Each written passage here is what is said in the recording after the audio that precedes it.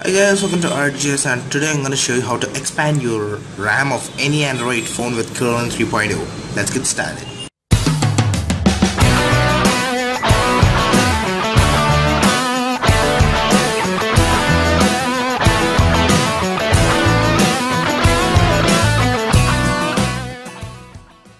Guys, some people are really fed up with their phones because they're trying to get their budget phones but they get less RAM in it and they don't work properly sometimes. So these two apps are what you need and this is the main app. This is just for testing. Uh, the links are in the description. First open this app. It, it's a checking thingy like you need to access the root. Now you should press this button which would test if there is any RAM expandability or compact if your phone is compatible for expandation of RAM. So select what's uh, what's your SD card. Select your SD card minus 21 1.30 gigs. So I've selected it. And it's creating a RAM file like a swap file just for demo to test that if this is actually worth of uh, increasing the RAM. So activating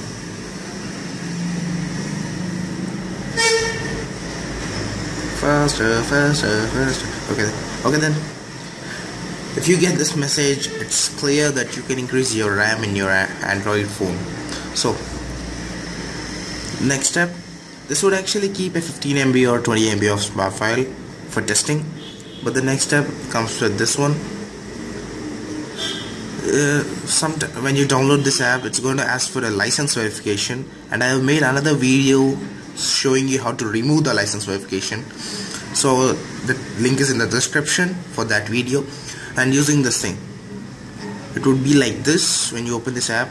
And you should set your SMART file or this bar. My SMART file is 512 MB and you can increase it by doing this. Or else you can just check all the memory details you have. Like it's uh, wait a minute it's just stopping. Okay then.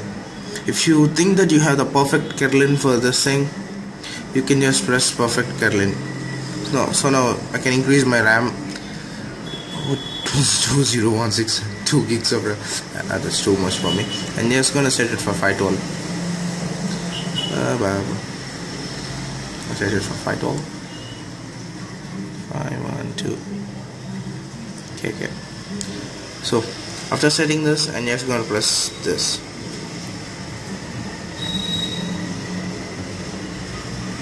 so it's gonna take some time. Uh, so there's a, already a swap file in my phones so see as you can see the total free space 574.00 MB clearly I could show you. Total RAM 981 MB but my actual RAM is uh, just 512 MB and I'm gonna show it uh, right now apps. Apps apps apps.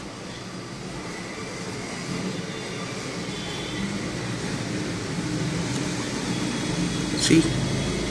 My total RAM is just 512 MB and now my RAM is 981 MB almost 1 gigs.